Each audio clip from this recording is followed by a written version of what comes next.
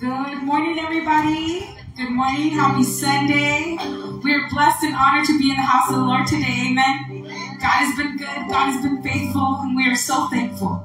Church, we ask you to get to your feet with us. And like every Sunday, we invite you to help us fill the house of the Lord with prayer today. Thank you, Lord, for another day, God. Lord, I thank you for the breath that you have placed in our lungs, Lord, and giving us the opportunity to come here today, Lord. Lord, I thank you for all that you've done for us, for all the love that you poured out for us, and all the blessings that you give us every morning.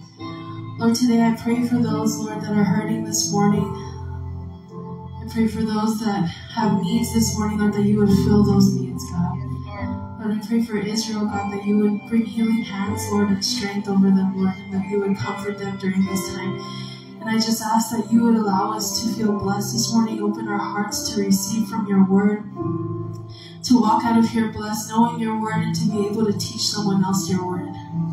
God, I thank you for all that you've done. In Jesus' name, amen. Amen. Knowing the love of God, knowing the peace of God, knowing the joy of God is such a beautiful thing.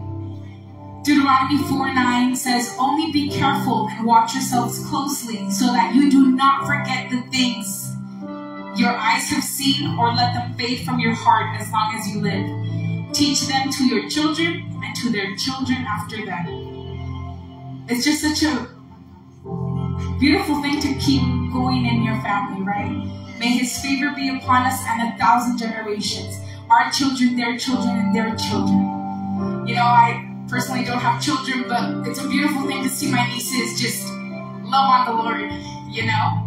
And what an honor it is to be able to spread that love. You know, and this morning we get to lift our voice, we get to raise our hands and surrender and say, Thank you, God.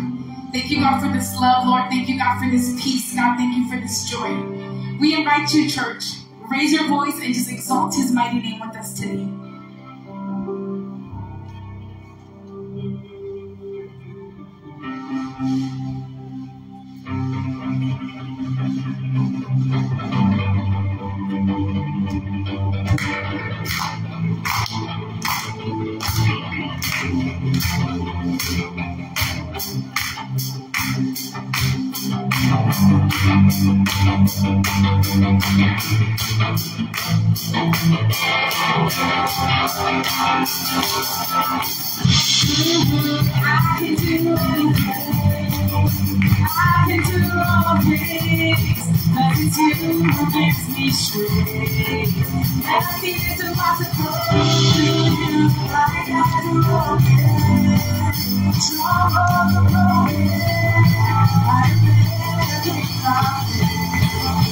Nothing is impossible.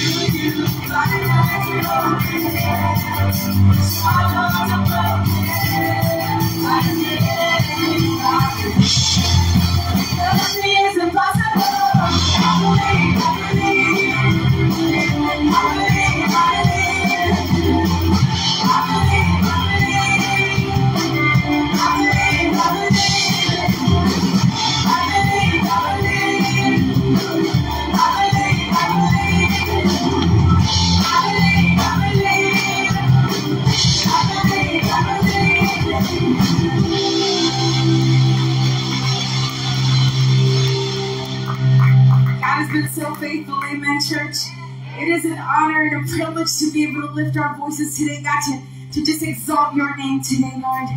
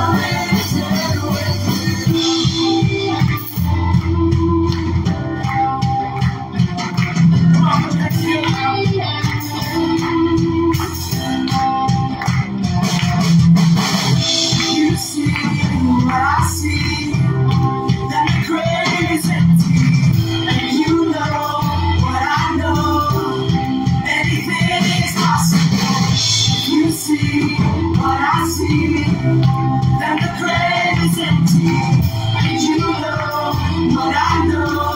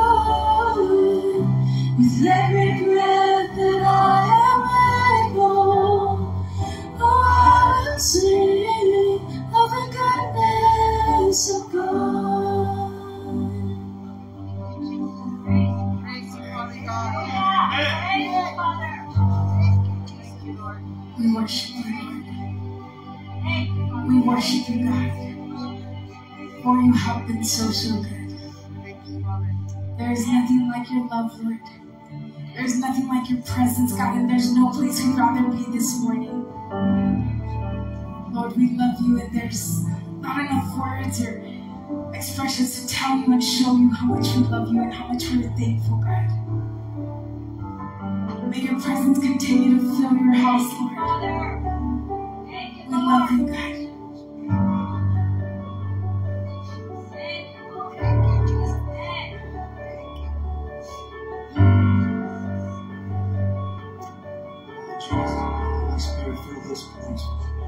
Fill these place, Father. Fill these hearts, Father. Remind us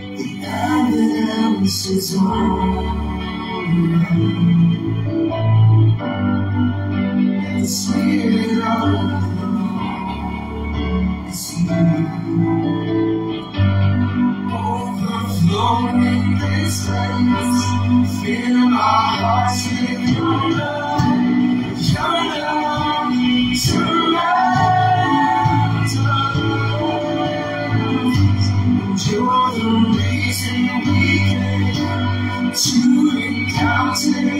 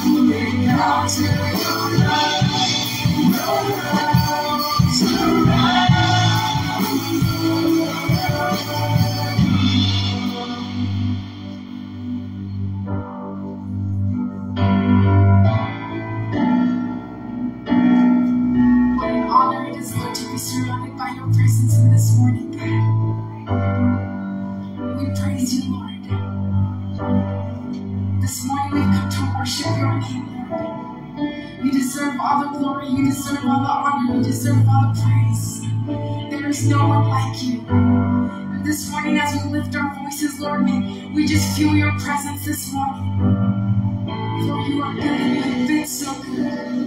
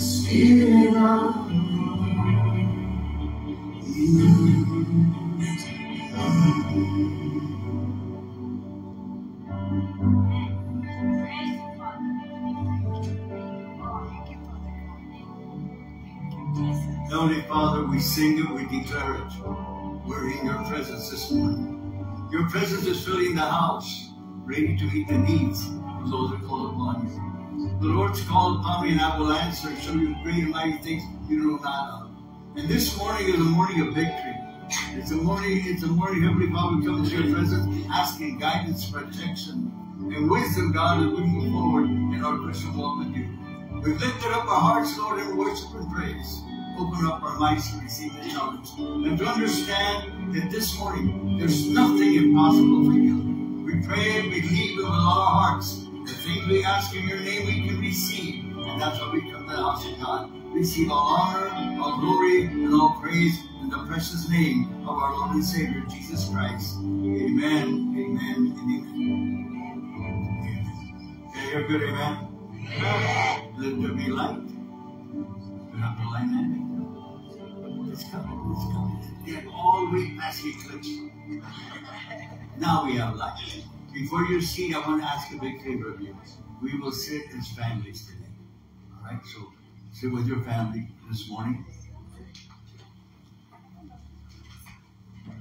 Because of the venue that we have for the service.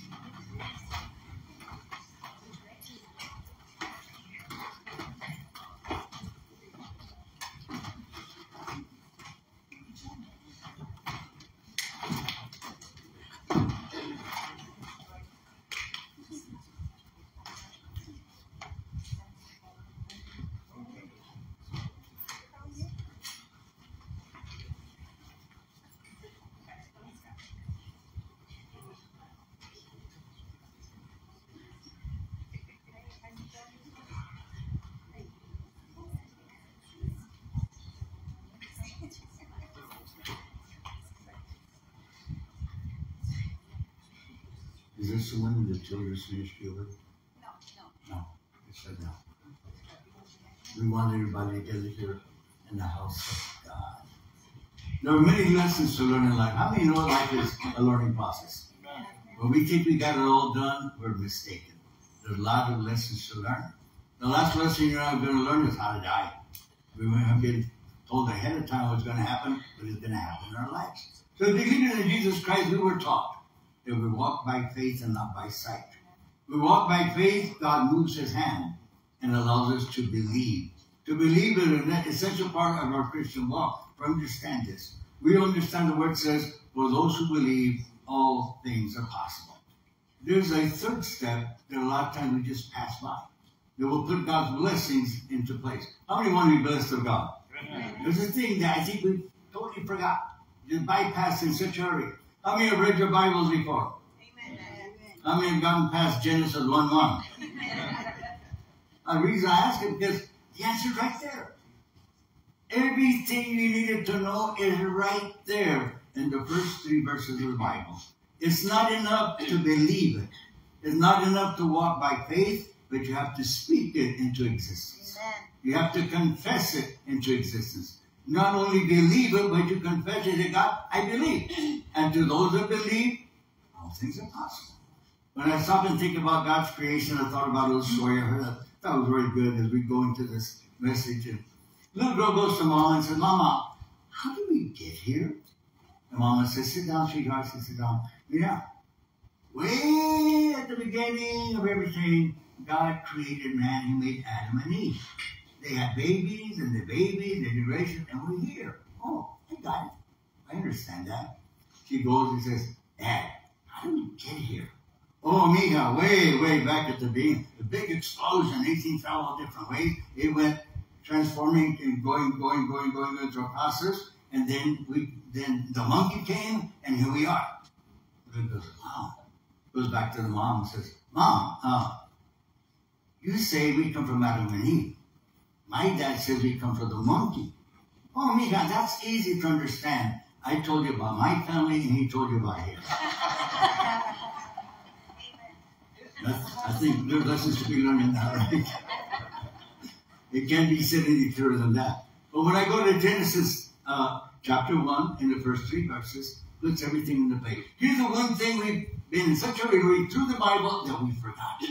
And see, the thing we're written there is to teach us lessons. And sometimes the lessons are so covered, our ears are so covered to reality we didn't see it. I mean, how many have been driving your car, come to the stop sign, look right, look left, take up, and beep, you didn't see it. It was right there. How many know that God's blessings are in place for your life? How many know that God wants you to prosper? How many of God wants you to be blessed in your life? How many understand these things? And they're all there. It's all written. We talked about the conditions of how it works in God's time and all, but everything is in. The one thing we just kind of blew right over the top and didn't see it, it's right there. He said you need to speak it into existence. Genesis 1 1. Can somebody quote it from me? In the beginning, God created the heavens and the earth. Right. Verse number 2. The earth was without form and void, and darkness was upon the face of the deep, and the Spirit of God hovering over the face of the water. And here's the number three that we haven't done. What does it say? You have your Bible? You see what it says? What does verse 3 say? Spanish. Good man. That's it right there. It's right there. That's it. See? That's why we miss it. We go take off. Then God said let there be light. Oh, no, no, wait, wait, wait. And God did what? He spoke it into existence. It was there, it came clear and into play because God spoke it. He declared it. And people in our Christian walk, if we want blessing over our families, we need to declare it. We need to believe that in spite of how difficult it seems sometimes raising our kids, we do want them to be blessed and to be prospered. It is our greatest desire, greatest passion as we go through life that they can achieve those greatest dreams and be able to enjoy life to its fullest. But without God, people, our children are lost. Without God, there is no purpose. Without God, they will prosper at times but never receive the peace and the love that surpasses all understanding. And that's the reason why we're gathered here today to, to say that today when we walk out of here, once we're done praying, we can say, as far as I'm concerned, me and my house, we're the Lord. It's a commitment that we as parents have to make. It's a desire and a passion that goes beyond all understanding. When a lot of adversity comes to our families, and it will come, it's part of the course. It's not always going to be huggy, huggy, lovey, lovey, love. We're going to have our moments of difficulty. But when those moments come, it's time to raise up and to believe. Me and my house, we're going to serve the Lord. It's a strong conviction, strong saying. But see, it's got to go beyond saying. It's got to take action. You've got to speak to it. You've got to bring it into existence. So today I'm going to speak to you about the topic: How will God be able to bless my children? First of all, you have to go to the source of God's blessings. Psalm 127, 1. The Bible says, "Unless the Lord builds a house, those that labor labor in vain." And what it's saying is this: As you go through life and you're constructing dreams and uh, so many desires of life and putting together family and plans and issues or goals of life. He says, unless God is included in that, you work in vain. I mean, you didn't have a lot of happy times. How many have already enjoyed your vacations this year? And the rest of us? Yeah, we're still on hold. We're just waiting for, for the event to be done in, in two weeks, and then Johnny's wedding, and then we're ready. I don't know for what, but we're ready. But vacation's a great time, have big, but see, it's nice to have plans and desires and all. That's cool. That's not a problem. But it says in your planning, always include God in the plans. Always believe what part God is going to take in everything that you do. You can't put him aside and then ask him to come in when it's not going your way. You can't just go along and go your way and say, oh, sudden fall on your face. Oh my God, where are you? You didn't include me in the plans. You didn't call upon me. Did not Jesus say, I go, well, I will send the Holy Spirit, and the Holy Spirit will lead you to all truth? Isn't that what the Bible teaches? So if that's what the Lord wants of our life, it is our first decision in life is to include God into everything that we're talking about. God, it will be your will. See, everything conforms to God's will. God has a perfect will for your life. How many know that God wants you to prosper Amen. and to be blessed? But He also wants you to obey. You understand that the bottom line to all this, you hold the key. It's not that He can't. It's not that He won't. It's that you don't want it. You make the choices that will determine God's blessing or His turning back on whatever He's going to do. So in Psalmist 127 says, as we go, unless the Lord builds a house.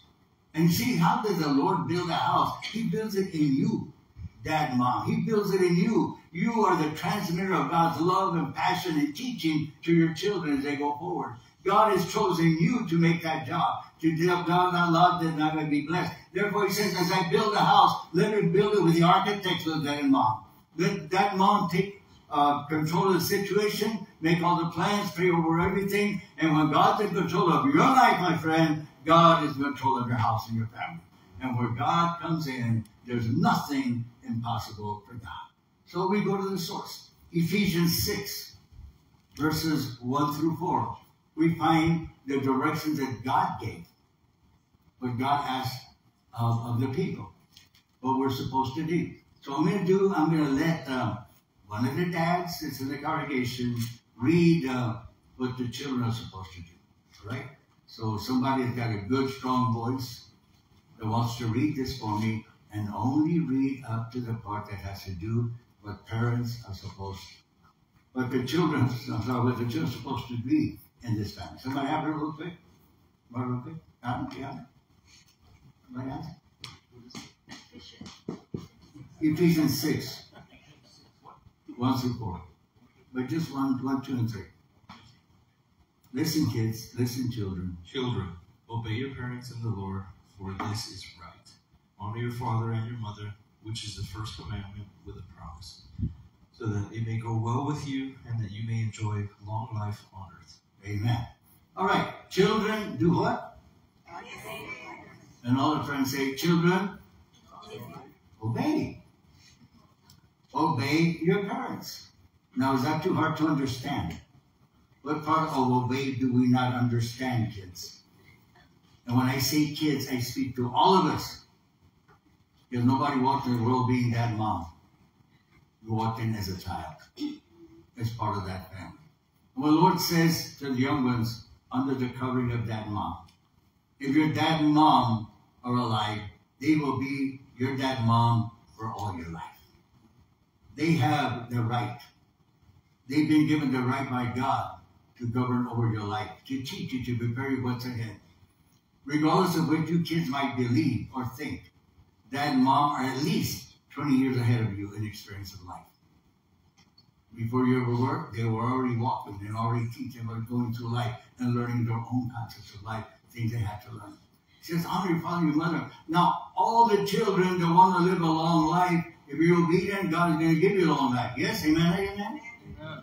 I said, God will give you a long life Amen. and a blessed life. I guess mom was really obedient. But she's 96 and she's still going 100 miles an hour. You know?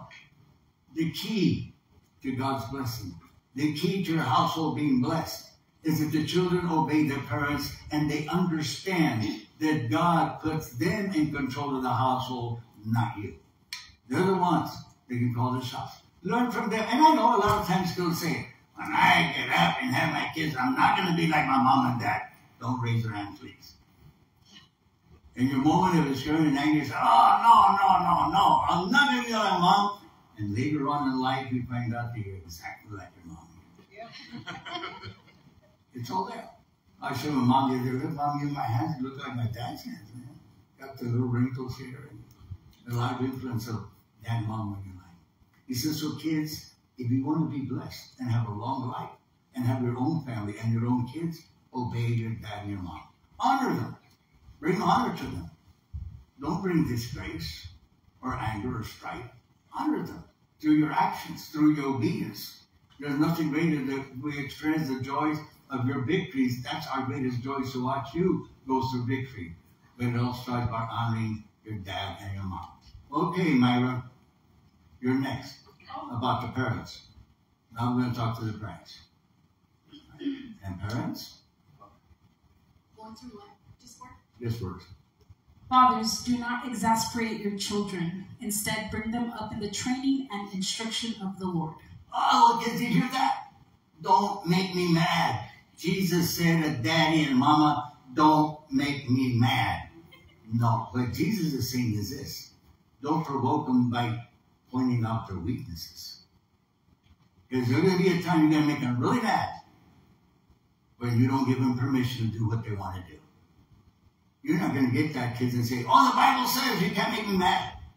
The Bible says you're supposed to not make me get all upset out of the Bible. No. But the Bible says he told and mom, teach him in discipline. Teach them. Teach them to say, you know, parents, sometimes even though you have the means, it's not wrong to say no just to teach them. Bottom line. But I have it. Teach them that not everything is for free in life.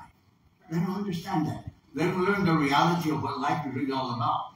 See, while there are kids being raised in your household, they have no idea what the cost of life is all about. None.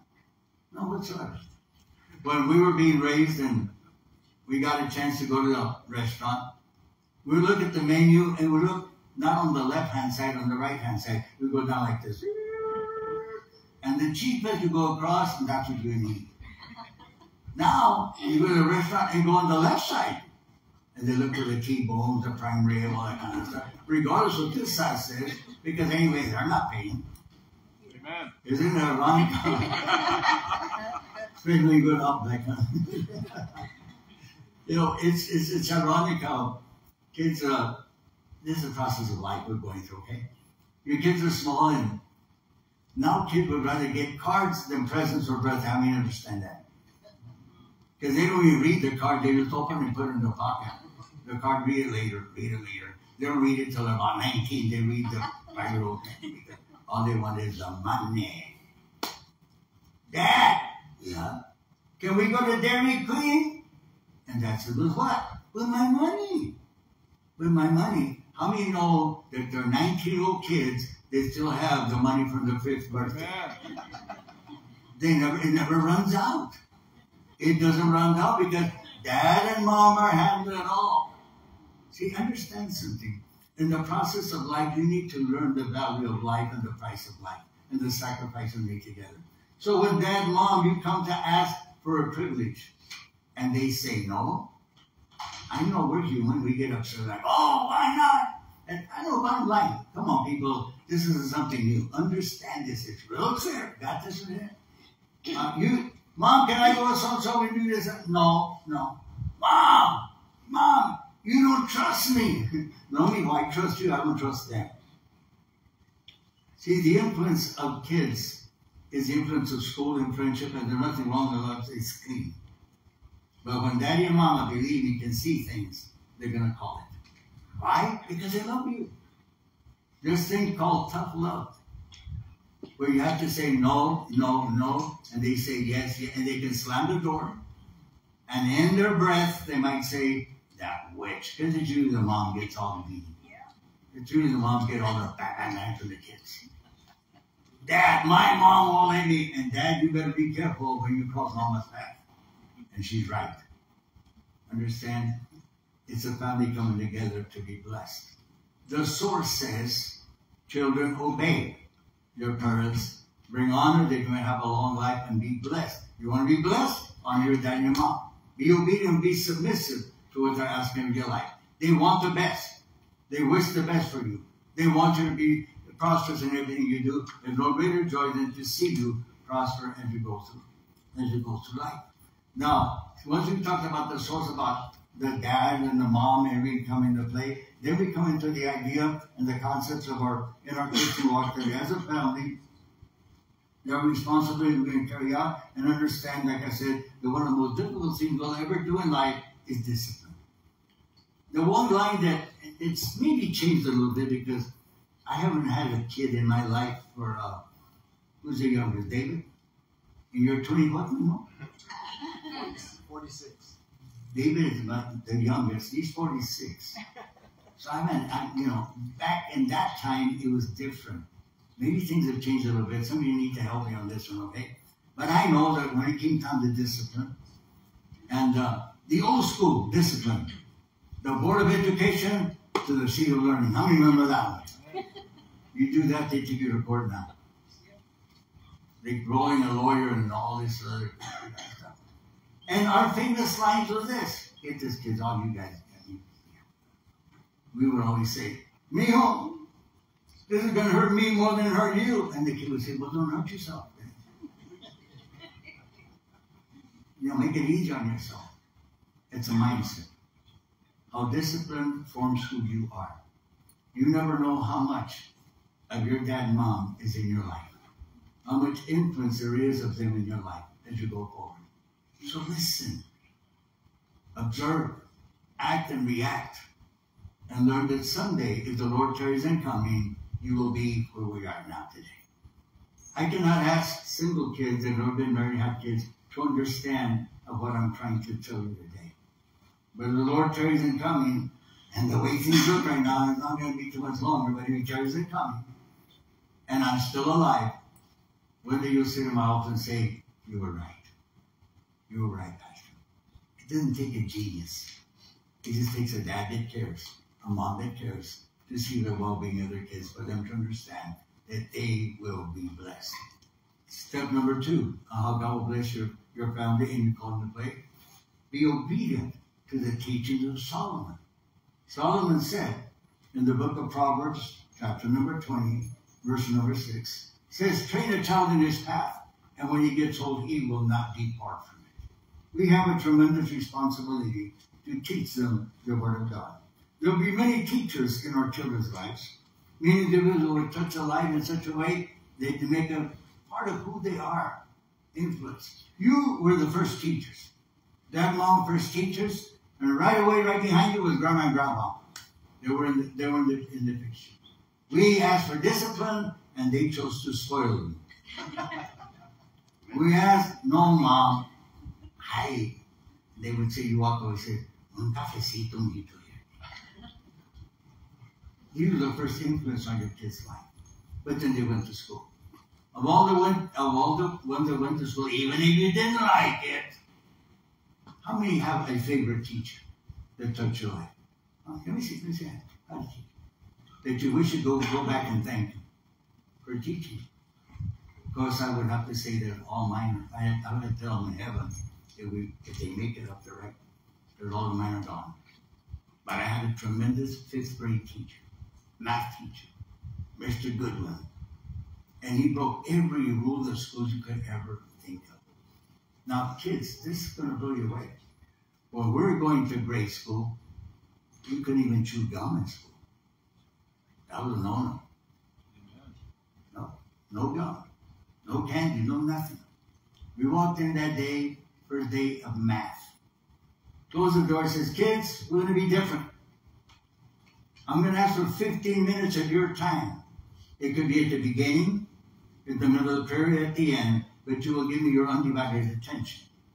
While I'm not speaking, you can bring sandwiches and cokes and oranges and bubble gum, whatever you want. Well, give me my 15 minutes. And we go there. Okay. We say, cool. We all look we all look forward to going to Mr. Goodner's class because fifth grade was the first time we would rotate classes. We were really bad. Rotate classes. Went in the first day, we are all excited. Everybody's bump, bunch, and jump. He said, okay, give me the last 15. So everybody, ah, having fun. He kept the door closed, so he did that. Okay, my time. 15 minutes, and he taught. I learned more math that year than ever again in my life. He taught me everything about math, not calculus, that's junk. One and one is two, that's math. Amen. That's all you need to balance your checkbook. You don't need calculus, you don't you know. He taught me more of how to teach. Ask for a certain time, use it, and give liberty, and people feel like I'm in my atmosphere.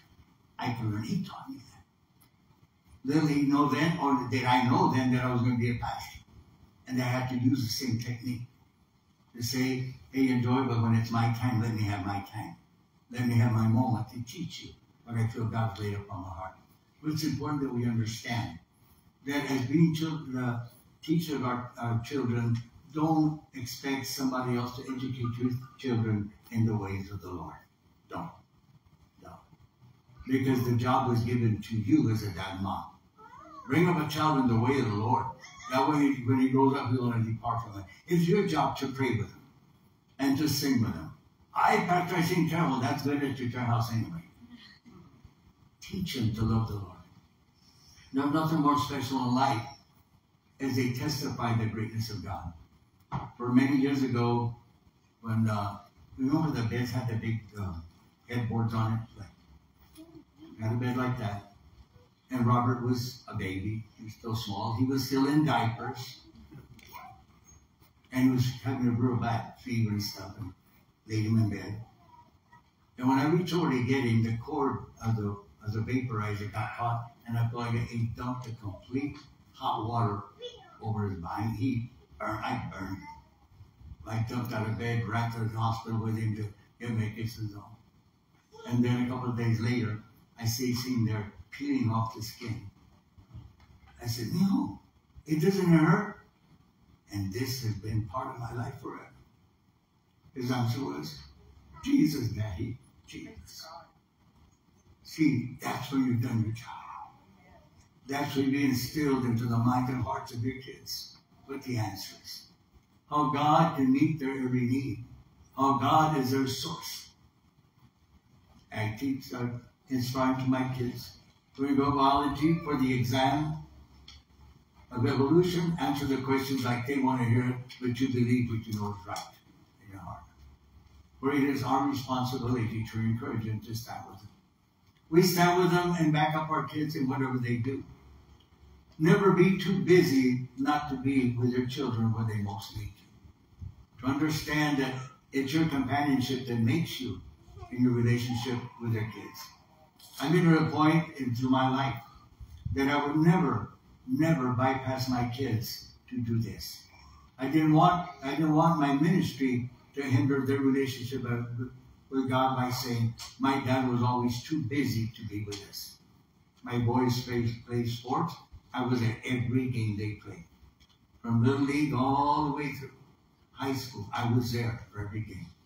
And I remember vividly in my life I talk about things uh, as I watch the kids grow up. That uh, when Tom Work took over the job at Riverside, being the football coach, he wanted to be the first team out. And at midnight, he would have midnight madness. When that came in David's senior year, I was in the hospital. They had done a heart procedure, and I was there. Midnight madness was going to be that night. And doctor walks in, he says, hey, we did it, but it'd be well for you to stay here another night. Another day'd be better. He said, no, I'm leaving. Mr. Martinez, you need to stay. No, I'm leaving. It's my son's midnight madness, and this will never happen again. It only happens one time in his life. And I will be here for him. Long story short, when he came running out of the tongues, he looked up and right above the tongue, I was sitting because I was being a dad, not a pastor to be involved in their lives, to let them know that you really care, to let them understand that you're in there backing them, and they know that everything they do is a blessing to your life. You stress education. How many parents stress education? Yeah, get, get, get. Get all the schooling you get. We go in there and push and push and push for education. And then they honor us at graduation. Well, isn't it awesome when your kid comes home and says, I got a scholarship? Is going to say, Shh, I am going to graduate. you know what I'm talking about? You say, I got a scholarship and, and things will honor you. And the day they call your name out to come up and get your diploma, I remember one year we were special event session and I we were Sean and Sandra. Was it Danny? I think it was. I read her lips when she said, That's my boy. Yeah, it's just a great feeling. And Danny, when that baby you that grandma's holding does that to you, you're gonna be so proud. You're gonna be so proud of what your kid did. Why? Because they achieved. We prepare them for college and for life. But let me ask you something. How we prepare them for eternity? We're so vested into the honor of good grades, which is awesome, of special recognition, which is awesome. But what does a man gain if he gains the whole world or loses his soul? Is it more important for your kid to be the football star, baseball star, basketball star, your daughter to be more beautiful, and all these things that come into play? Is it that important? Is it more important that they spend eternity with Jesus Christ? I think we need to choose our priorities. How we invest into that. I know I did. I know I did. When the kids were growing up. I even did with Johnny when he was growing up. I drive Johnny to school every morning. We drive to school together. We talked about his life, what his plans were, how he was going to achieve certain things in life because it was part of my life. To instruct him and help him to bless him, to be able to know. And uh, would tell me, I don't know what's wrong with Johnny. Babe, I don't know why. He says, I mean, I know he's smart and he, brings bees and an occasional egg. I said, because he's bored. He's bored. He's not being challenged. He's bored. You know, so watch, watch. He gets out of high school, goes to Western Tech, because he asked me, what do you think, Dad? I said, you know, I know kids with degrees that earn less money than someone to a tech school.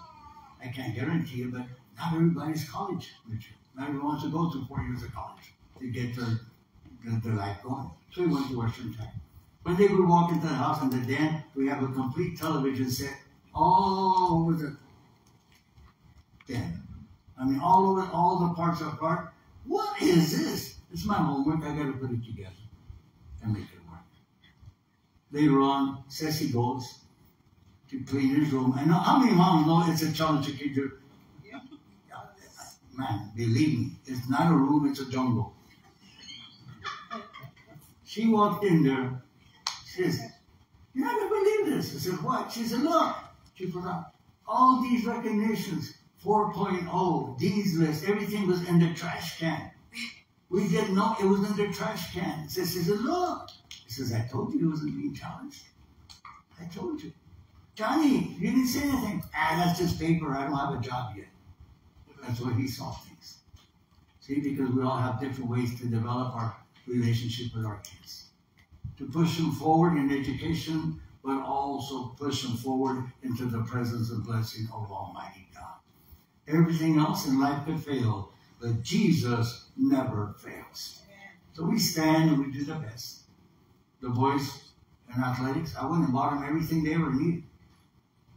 I mean, a bat that hits by itself, gloves, football equipment, braces. No, David was very intelligent playing football. Okay. He had a very bad knee. He had to wear a brace in order to play. play. He practiced with a brace on his bad knee. Game time, he put it on his good knee. So he could then come after the good knee and the bad knee's going to be okay. He had the wisdom of his dad. But you know, this is what's special in life. You have all these great memories by asking. If eternity would come calling today, are your kids ready to make it to heaven? That's the greatest gift you're ever going to get to them. That they might understand there's going to be one more graduation day. And we will all graduate on that day. Either when God calls you into his presence, or the trumpet of the Lord is going to sound, and the dead in Christ shall rise first. We will all get that day. And it is our job as our parents to bless our children and make sure, and make sure about their eternity. You can lead them to water, you can't make them drink. I can teach you, I can't make you do it. But it's not because you weren't you did you weren't taught, it's because you chose not.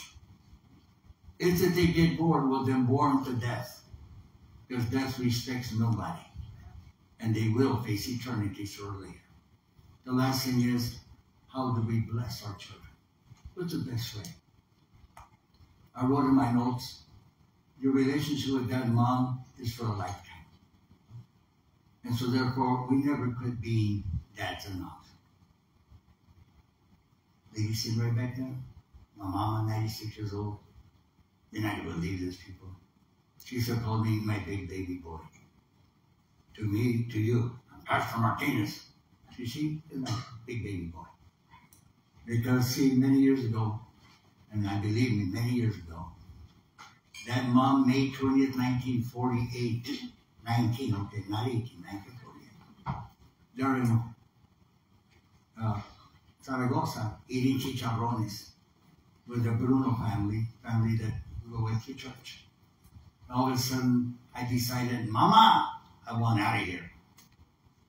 And I had to come back over real quick, stateside, and go to the hospital. I've told you this before. When the time came and my dad was told, you have a choice. Do we save the mom or do we save the baby? We can't save both. And being that the doctor, that Delgado was a personal friend, he told my dad, let's save the mom, we can always have another kid. If, we serve the God of the impossible. Do I need to tell you where to start? We're both still here by the grace of God. Amen. Later on, I was born in May.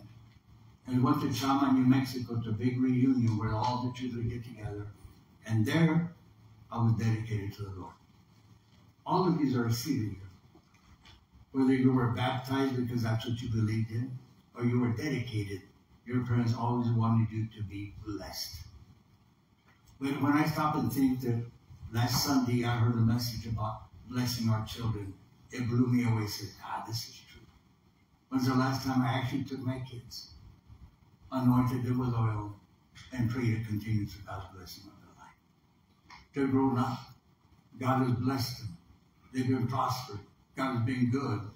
But it doesn't mean that it's over. I still think I will be blessed today. My dad won't be here to pray for my mom is. People don't know that 75 years later, I'm still her kid. And then I need God's blessing. And I need His guidance. We sit here today, that's what we need. From the book of Mark, chapter number 10. Jesus is teaching the people and then these ladies get all riled up and they're bringing a bunch of kids to Jesus and he would bless them. Make a bunch of ruckus and it's like, hey, chill, hey, hey, calm down, calm down. He's busy. What do you want? We want him to bless our children. Oh, he got more important things to do than to bless our children. But how many know that when a woman makes, makes up her mind, it's going to happen, it's going to happen. They keep the ruckus going. And Jesus tells what's up? Oh, we told them you're too busy. For what? They want you to bless their children. I told you got more important to do. And then, no, the Bible says, He says, no, no, no, no. Let the children come unto me. Then the Bible says, He took them in His arms and placed His hands over them and blessed them. And today, we will do the same. Every dad, every mom will bless their children. And then if your children have children, they will bless their children. I know it's cool for grandma and grandpa, but it's the job of dad mom this morning to pray blessing over their kids. They're not so small that you can't pray for them, or so big that they don't need your prayers. And the day as you come forward with your family, we have thing here. It says he has right here, should hand to you. It's a little vessel right that has anointed oil. I didn't just buy it at the store and, and it's done. No, we prayed over and brought it from merchandise to blessing, to God's way of doing things. If your family's not here, take it with you anyway. Go home and on his picture or her picture, put oil on it, pray over Nobody is beyond prayer. They all need our blessings. That's the reason why we prepared enough to give you, like like an Robert's place, Robert needs one, but so Adam needs one also. That fact, and so does uh, Aubrey need one. See, in that family, they need three. That's it, we add up how many we're going to need, try to make sure everybody got one. Even if your kids are not here. Take one of these little things of anointed oil and take it home and use it. Whatever you have left over, use it at your home for God's blessings, for healing, for things that represent God's kingdom, God's physical presence in your house, the anointed oil as we go forward. So this morning, Stacy, would you come here? You just twist the, the lids off of it. Take one of these, take your kids off to a corner, and you pray together. What do I do? Anoint them with oil. Ask God's blessing, God's protection, God's prosperity over their life. Ask yourself for wisdom to lead them. And above all things, that there might be love. And I think the very first thing you need to do this morning, before you pray, before you pray, listen to me good, because I'm going to be watching. I want you to take time, kids, to tell and mom, thank you for all they've done. And tell them, I love you. Because that's a lot of times we forget to say these things. We're too involved with everything else in life. And there's nothing better for a dad mom to hear than for the kids to say, I love you. Aubrey got to listen up really good. but we say, in the name of Jesus. You come forward, take one of these on the spot here, and your family. Would you come forward now and bless your family? Me and my house, we're going to bless the Lord. Serve the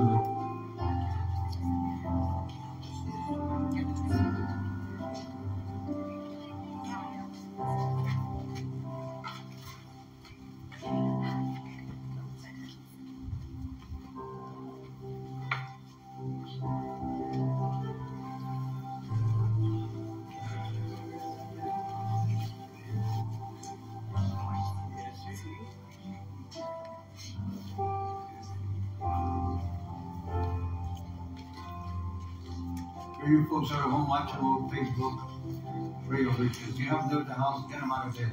Bring to bedroom. Or go to the bedroom and pray over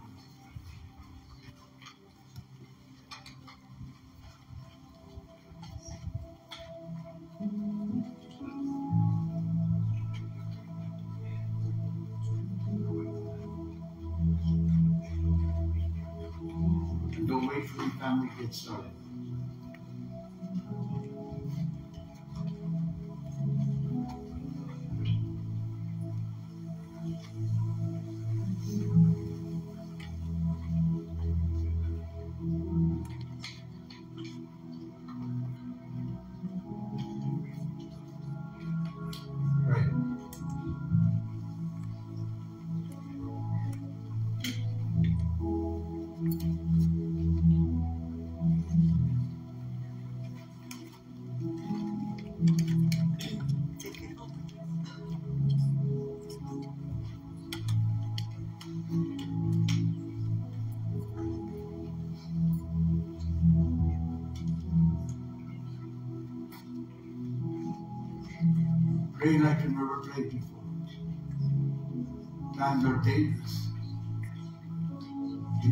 God's cover.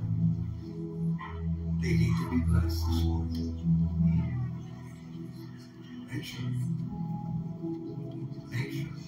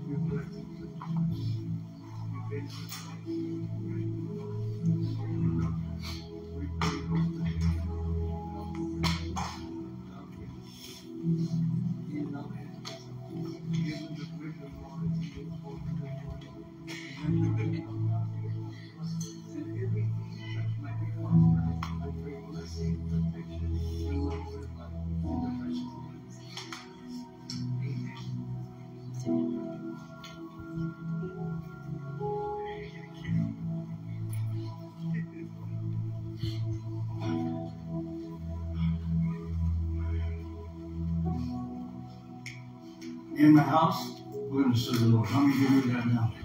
Now more than ever, people, look at the signs of time. Amen. And you know what the Bible says? When this happened, it's still not the end.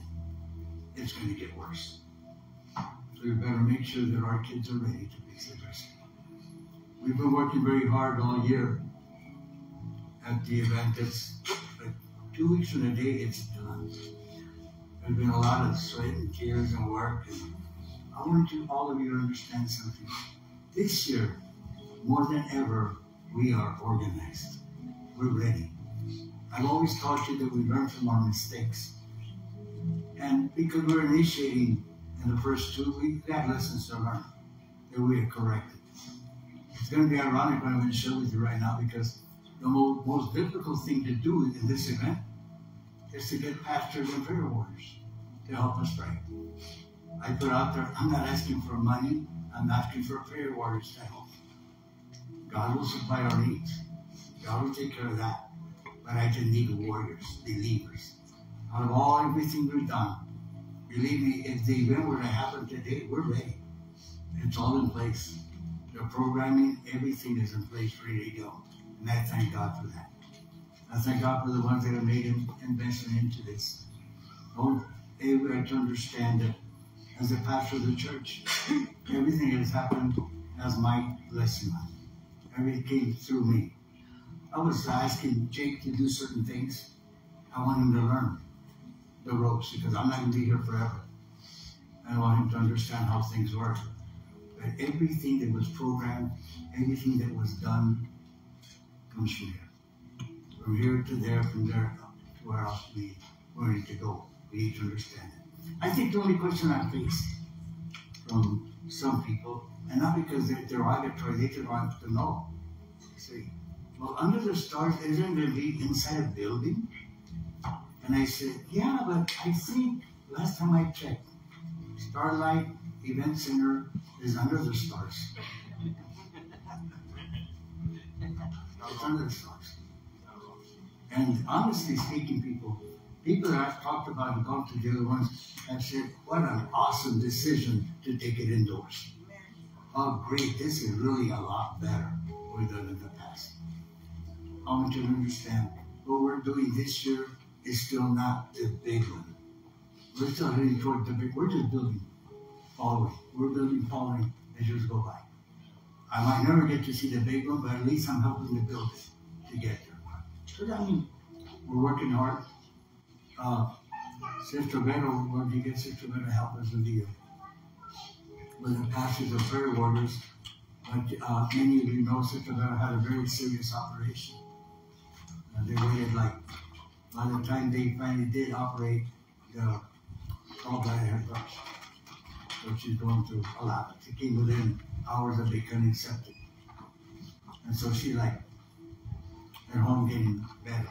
I told her, don't you get up, don't you do anything. It's more important you have your health than you be here.